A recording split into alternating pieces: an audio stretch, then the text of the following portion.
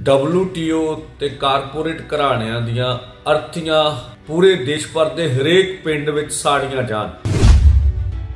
ਔਰ ਘੋਲ ਅੱਗੇ ਵੱਧ ਰਿਹਾ ਹੈਗਾ, ਸਰਕਾਰ ਦਬਾਅ 'ਚ ਆ। ਔਰ ਦਬਾਅ 'ਚ ਆ ਕੇ ਹੁਣ ਬੈਰੀਕੇਡ ਦਿੱਲੀ ਵਾਲੇ ਉਹਨੇ ਖੋਲੇ ਨੇ, ਭਾਵੇਂ ਇੱਥੇ ਨਹੀਂ ਖੋਲੇ ਹੈਗੇ। ਐਮਐਸਪੀ ਗਰੰਟੀ ਕਾਨੂੰਨ ਤੇ ਹੋਰ ਨਾ ਮੰਗਾ ਮਨਾਉਣ ਵਾਸਤੇ ਵੱਧ ਤੋਂ ਵੱਧ ਜਿਹੜਾ ਵਾ ਮੋਰਚਿਆਂ ਵਿੱਚ ਸ਼ਾਮਲ ਹੋ ਦੋਵਾਂ ਫੋਰਮਾਂ ਵੱਲੋਂ ਅੱਜ ਦੇਸ਼ ਭਰ ਦੇ ਵਿੱਚ WTO ਤੇ ਕਾਰਪੋਰੇਟ ਘਰਾਣਿਆਂ ਦੀਆਂ ਅਰਥੀਆਂ ਪੂਰੇ ਦੇਸ਼ ਭਰ ਦੇ ਹਰੇਕ ਪਿੰਡ ਵਿੱਚ ਸਾੜੀਆਂ ਜਾਣ।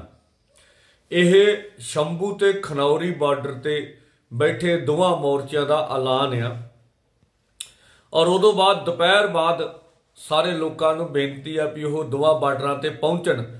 ਸ਼ੰਭੂ ਤੇ ਅਸੀਂ 3 ਵਜੇ ਜਿਹੜਾ ਵੱਡਾ 20-30 ਫੁੱਟ ਉੱਚਾ ਪੁਤਲਾ ਬਣਾ ਕੇ ਸਰਕਾਰਾਂ ਦਾ, ਕਾਰਪੋਰੇਟ ਘਰਾਣਾ ਦਾ WTO ਦਾ ਸਾੜਾਂਗੇ ਇਦਾਂ ਖਨੌਰੀ ਤੇ ਹੋਊਗਾ। ਤੋ ਬਾਕੀ ਹੈਗਾ ਵੀ ਦੇਖੋ ਅਸੀਂ ਪੂਰੇ ਦੇਸ਼ ਭਰ ਦੇ ਵਿੱਚ ਮੋਰਚਾ ਲਾਉਣ ਤੋਂ ਪਹਿਲਾਂ ਗਏ ਸੀ।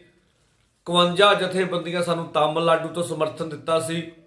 ਬਾਈਆਂ ਨੇ ਕਿਹਾ, ਤੁਹਾਡੇ ਕੋ ਆਉਣਾ 17 ਸਾਨੂੰ ਕੇਰਲਾ ਚੋਂ ਸ- ਕੇਰਲਾ ਚੋਂ ਸਮਰਥਨ ਮਿਲਿਆ ਸੀ। ਪੰਜ ਬਿਹਾਰ ਦੇ ਵਿੱਚੋਂ, ਦੋ ਮੱਧ ਪ੍ਰਦੇਸ਼ ਦੇ ਵਿੱਚੋਂ, ਤਕਰੀਬਨ ਇਸ ਵੇਲੇ ਯੂਪੀ ਦੇ ਵਿੱਚੋਂ 8 ਜਥੇਬੰਦੀਆਂ ਸਮਰਥਨ ਕਰ ਰਹੀਆਂ। ਹਰਿਆਣਾ ਚੋਂ ਤਾਂ ਬਹੁਤ ਜਥੇਬੰਦੀਆਂ ਆ ਗਈਆਂ ਸੀ, ਪਰ 8 ਪੱਕੀਆਂ ਸਾਡੇ ਨਾਲ ਨੇ। ਇਸ ਤਰ੍ਹਾਂ ਰਾਜਸਥਾਨ ਦੇ ਵਿੱਚੋਂ 7 ਜਥੇਬੰਦੀਆਂ ਸਮਰਥਨ ਕਰ ਰਹੀਆਂ ਨੇ। ਉੱਤਰਾਖੰਡ ਤੋਂ ਦੋ ਜਥੇਬੰਦੀਆਂ ਹੈਗੀਆਂ ਨੇ। ਔਰ ਮੱਧ ਪ੍ਰਦੇਸ਼ ਦੀ ਵੀ ਗੱਲ ਹੈਗੀ ਹੁਣ ਸਾਨੂੰ ਮਹਾਰਾਸ਼ਟਰ ਤੋਂ ਵੱਡਾ ਸਮਰਥਨ ਮਿਲ ਰਿਹਾ।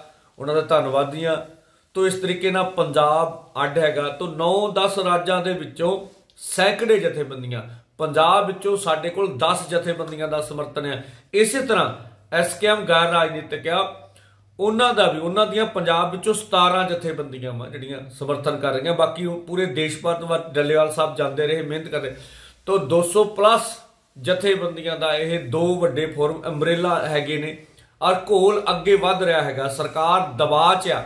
ਔਰ ਦਬਾਅ 'ਚ ਆ ਕੇ ਹੁਣ ਉਹ ਬੈਰੀਕੇਡ ਦਿੱਲੀ ਵਾਲੇ ਉਹਨੇ ਖੋਲੇ ਨੇ, ਭਾਵੇਂ ਇੱਥੇ ਨਹੀਂ ਖੋਲੇ ਹੈਗੇ। ਤੋਂ ਇਹ ਮੋਰਚਾ ਜਾ ਰਿਹਾ। ਇਹਦੇ ਨੂੰ ਚੰਗਾ ਸਮਾਂ ਨਹੀਂ ਲੱਭਣਾ ਹੈਗਾ। ਇਸ ਕਰਕੇ ਐਮਐਸਪੀ ਗਰੰਟੀ ਕਾਨੂੰਨ ਤੇ ਹੋਰ ਨਾ ਮੰਗਾ ਮਨਾਉਣ ਵਾਸਤੇ ਵੱਧ ਤੋਂ ਵੱਧ ਜਿਹੜਾ ਵਾ ਮੋਰਚਿਆਂ ਵਿੱਚ ਸ਼ਾਮਲ ਹੋ ਅੱਜ ਦੇ ਪ੍ਰੋਗਰਾਮ ਕਰੋ। ਧੰਨਵਾਦ।